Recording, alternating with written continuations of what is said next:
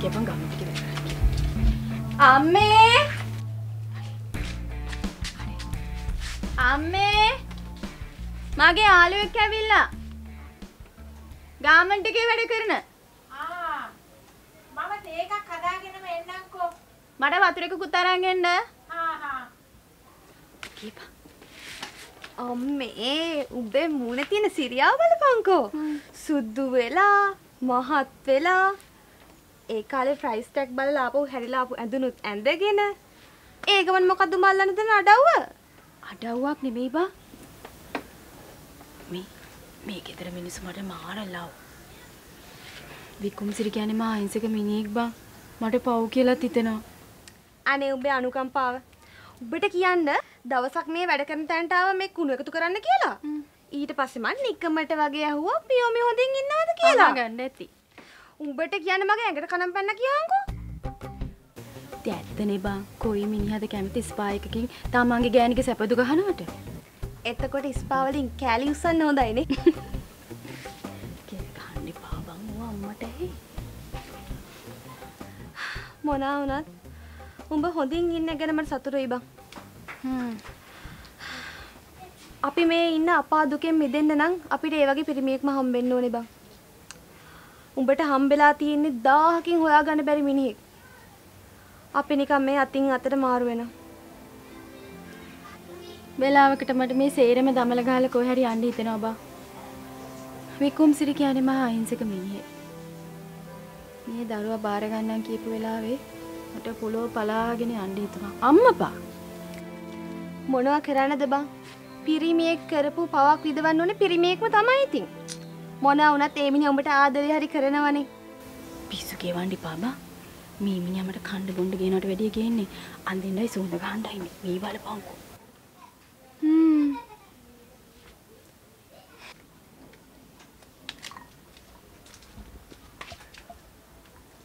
ආදුවේ.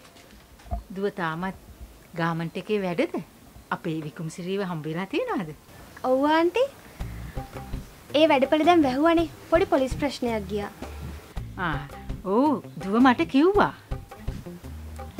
දැන් එතන අලුත් කට්ටියක් අරගෙන වැඩ කරගෙන යනවා. එක්ස්පීරියන්ස් තියෙන අයමයි ගත්තෙත්. ඔඩ කතා කරා නේද? මට ඒ වුණාට ඉතින් විකුම්සිරි වැඩට යන්න දෙන්නේ නෑනේ අම්මා. ඔව් ඔව් නෑ මම මේ හැව්වෙදුවේ මේ අපේ වත්තේ ළමයෙක් මට කිව්වා රස්සාවක් හොයලා දෙන්න කියලා. මම බැලුවේ ඉතින් ඒකේ රස්සාවක් දෙන්න පුළුවන් නම්. ආ නෑ ආන්ටි එතෙන්ට ගන්න කොටක් පළපුරුදු තියන අය විතරයි. මම බලලා මෙයාට කෝල් කරන්න. ආ අම්මේ මට වතුර එකක් කරන් මම වතුර එක අරන් එන්නම්කෝ.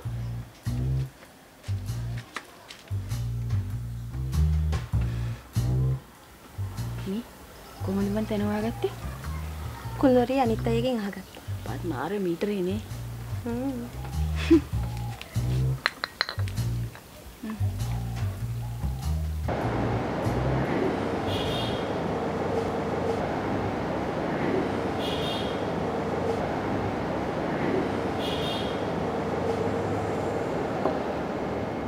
මරදානේ කසිප්පු පොලක් වටලලා. ඒ කසිප්පු බීපු දහ දෙනෙක් මැරිලා. මේක කාගේ වැඩක්ද කියලා දන්නවද?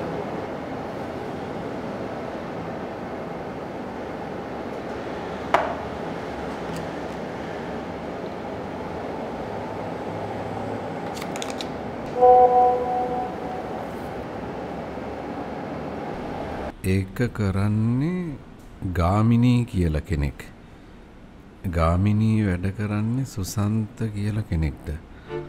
සුසන්ත ළඟදී දවසක තමයි හිරෙන් නිදහස් වුනේ.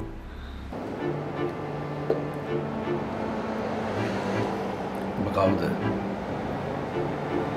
ඇයි උඹ මට මෙහෙම උදව් කරන්නේ? මොකද්ද උඹ මේකෙන් බලාපොරොත්තු වෙන්නේ?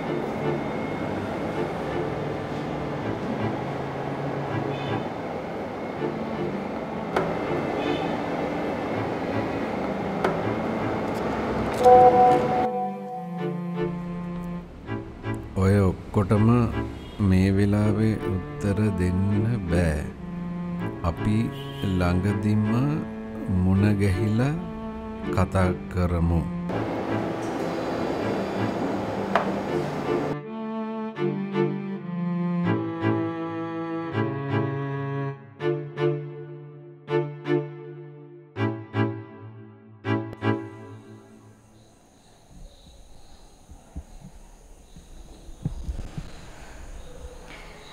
ජයන්ත මම මේ අඩිය තිබ්බේ පරදින්න නෙමෙයි. මට ඒක පුරුදුත් නෑ. ඒකිවේ මැඩ මේ මාධ්‍ය සාකච්ඡා අරවා මේවා ඒවා හරියන්නේ නෑ ජයන්ත. දැන් අපි කීයක් තිබ්බද? අද දෙකත් එක්ක විස්සා විස්ස. මේවා තියලා මේ බලපෙරලියක් කරන්න බෑ. උන් මට එහෙම මඩ ගහනවා. මගේ පෞද්ගලික දේවල් දලර ගන්නවා. ඒවට අපි ප්‍රතිඋත්තර දෙන්න යනවා මාධ්‍ය හරහා. කිසිම දෙයක් වෙන්නේ නෑ. මිනිසුන්ට හරි වැරද්ද වැඩක් නෑ. උන් ගිහලා කතර ගහන්නේ මුලින් හිතන් ඉන්න අයට. Taman කැමති පක්ෂයට. හරි මැඩ ද අපි මොකක්ද මේකට කරන්නේ මට හිතෙන්නේ අපි මේ නගර සභාව ඇතුළෙම ප්‍රශ්නයක් මතු කරගන්න ඕනේ. ඒකිවේ දැන් ওই සුළු සේවක ප්‍රශ්නේ. ඒ මිනිස්සුන්ගේ රැකියාව තාම ස්ථිර නෑනේ. ඒවා ස්ථිර කරන්න හැකියාවක් නගර සභාවට නෑ. ඒක අපි දන්නවනේ. මං කියන්නේ මේ වෙලාවේ අපේ මිනිසුන්ගේ අයිතිවාසිකම් වෙනුවෙන් පෙනී සිටියොත් අපේ අරමුණ ශක්තිමත් කරගන්න පුළුවන්. මොකද හිතන්නේ? හැබැයි ඉතින් මැඩම් ඔය මොනා කෙරුවත් මිනිස්සුන්ගේ හිතේ නගරාධිපතිතුමා ගැන තියෙන ආකල්පය නැති කරන්න බෑ ඒක හරි. ඒකයි මං කියන්නේ.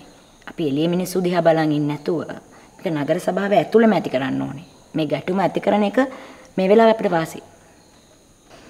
හැබැයි ඒකෙන් අපිට එළියටත් බලපෑමක් කරන්න පුළුවන්.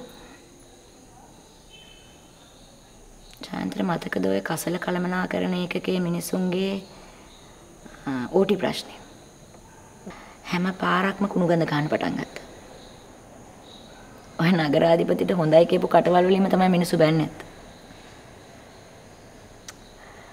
මේ පාරත් අපිට ඒකම පාවිච්චි කරන්න පුළුවන්. හ්ම්.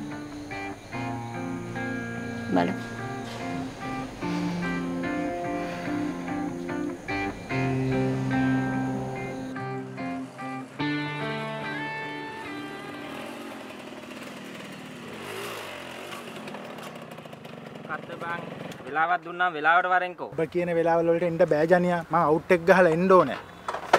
හරි හරි. මගේ වැඩේ බැලුවද? මේ ඔබ කියන කියන හදිසියෙ කරන්න බෑ.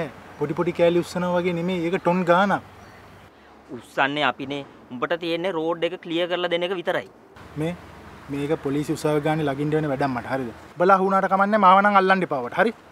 බය වෙන්න එපා බං. අපි මේවා පුරුදු වෙන්න කරන වැඩ නෙමේනේ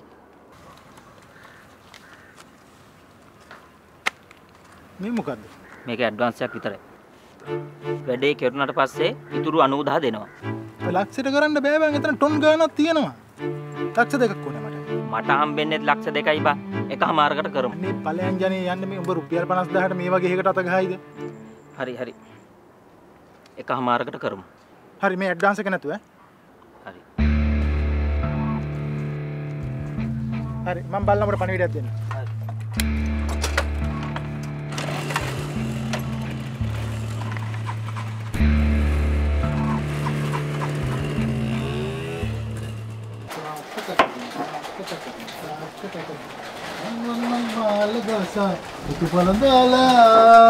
මේ සෙල්ලම් බෑ හරිද මාත් එක්ක? පරක් වෙලා ඇවිල්ලා මෙතන. වැඩ ඇරුණාම කලින් ගෙදර එන්න ඕනේ. රස්ති අතු ගහලා එනවා මෙතන. ආ. හරි දැන් ඔය කවුරුත් ඇහුවේ නෑනේ මගෙන්. මොකද අද පරක් වුණේ කියලා. තමුන්ගේ ගෑයින්ටත් වඩා වටිනා රාජකාරිය මොකද්ද බන් තියෙන්නේ? මේක මේ මදුවට වඩා වටිනා රාජකාරියක් නෙමෙයි යම්මේ. මේ මදුවට වටිනාකමක් ගේන්න ගියපු රාජකාරියක්. මේ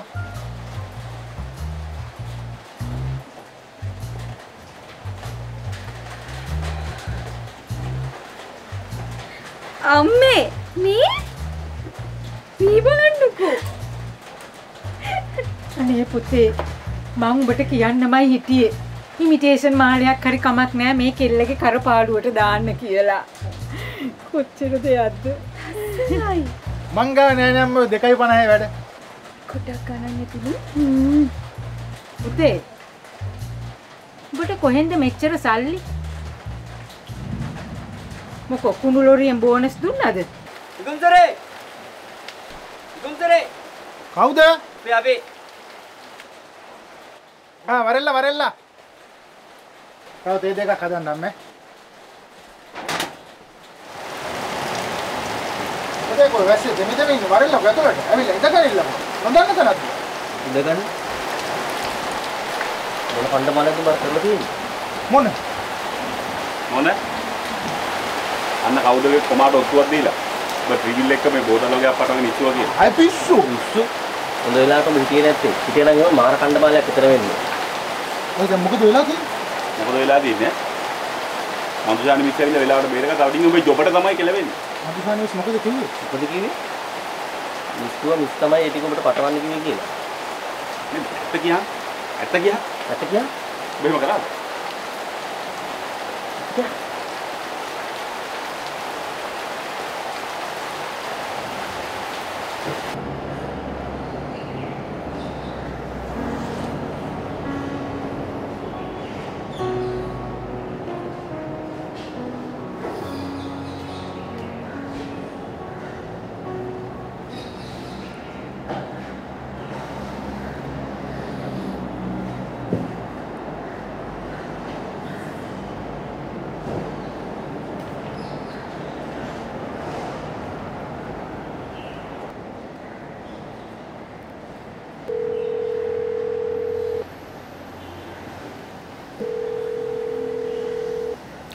හෙලෝ වයිසි මහත්තයා. මට කෝල්ලයක් කරන් තිබුණාද? මම පොඩ්ඩක් නිදාගෙන හිටියේ. ඉලක්ෂ මාර වැඩක් නේ වෙලා තියෙන්නේ. ඒ මොකද්ද වෙලා තියෙන්නේ? ඔයා නිවුස් එක දැක්කද? අර කසිපු බීලා මිනිස්සු දහ දෙනෙක් මැරලා හිටියේ. ආ ඔව් මම දැක්ක නිවුස් එක. අපි අර අල්ලගත්ත දෙන්නගෙන් ප්‍රශ්න කරගෙන යද්දී උන් දෙන්න කියන විදිහට මේක කරගෙන ගිහිල්ලා තියෙන්නේ අන්ඩර්වර්ල්ඩ් එකට සම්බන්ධ ගාමිණී කියලා එකෙක්. ඕ ඉතින් ඔය ගාමිණී කියන මිනිස්සයව අද මරලා දාලා තිබිලා හම්බ වුණා. ඔය ගාමිණී කියන මනුස්සයා වැඩ කරන්නේ සුසන්ත කියලා කෙනෙක්ට. ගාමිණීව ඇරස් කරොත් උන්ගේ විස්තර දැනගනී කියලා මං හිතන්නේ විනියව මරන්න නැත්තේ. අපිත් මුලින් හිතන් හිටියේ එහෙම තමයි. ඒත් ඔය මිනිස්සයාට බෙඩි දීලා තියෙන්නේ අතුරුදහන් වෙච්ච අසේලගේ පිස්තෝලෙන්. අසේලගේ පිස්තෝලෙන්? ඔව්. රස පරීක්ෂක වාර්තාවෙන් ඒක සනාත වෙලා තියෙනවා. ඌව පාවිච්චි කරන්නේ CID ගේ නිලධාරීන් විතරයි. මම ඔය ගැන CID එකෙන් අහලා බැලුවා. ඒගොල්ලෝ ගාව තියෙන මැගසින්ස් වල ස්ටොක් එකෙන් දැනට අඩු වෙලා තියෙන්නේ ඔය අසේලගේ බුලට්ස් නමේ විතරයි. පොඩ්ඩක් ඉන්නස මට ඉම්පෝර්ටන්ට් කෝල් එකක් එනවා මං මං සර් තව පොඩ්ඩකින් ගන්න. ආ හොඳයි. මිස්ටර් ඉලක්ෂ ඔයත් පොඩ්ඩක් මේ ගැන හොයලා බලන්න. හ්ම්? හරි හරි. ඔයාට මොකක් හරි තොරතුරක් අසේල ගැන වාර්තා වුණොත් මට ඉක්මනින් කියන්න. හරි හරි හරි හරි. හොඳයි.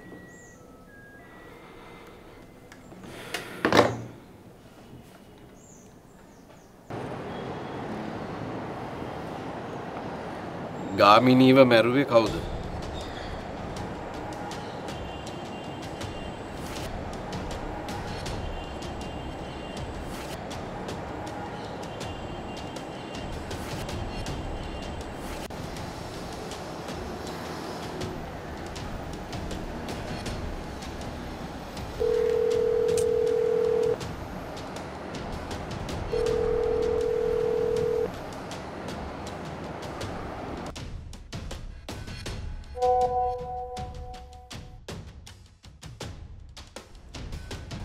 කවුද මැරුවේ කියලා දන්නේ නැති වුණාට ඉලක්ෂ දන්නවනේ කාගේ ආයුධයකින්ද මැරුණි කියලා.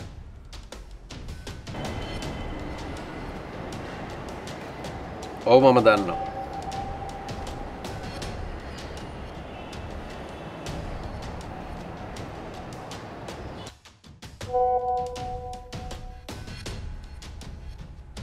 බුද්ධිමත් මාධ්‍යවේදියෙක් නේද ටිකක් හිතන්නකෝ. මට මේ වෙලාවේ හිතන්න තරම් මානසිකත්වයක් නැහැ.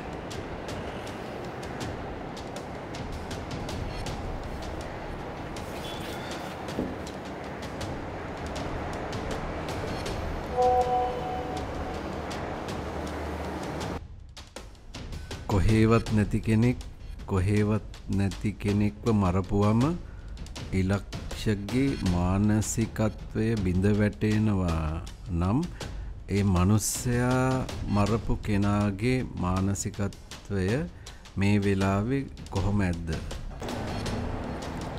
ඒක කළේ උඹද?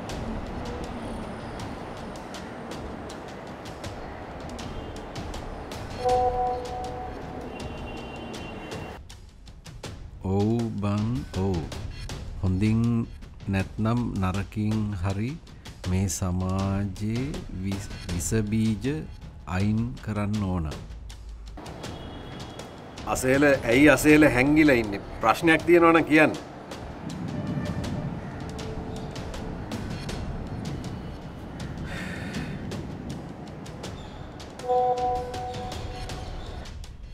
කොන්්ඩෙ සුදු කරන් ඉන්නවා දැක්කම හරි සිරියාවයි.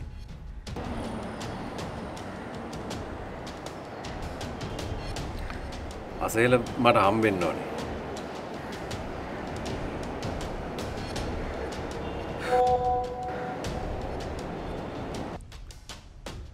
ඒකට වෙලාවක් එයි. එතකල් ඉවසපං.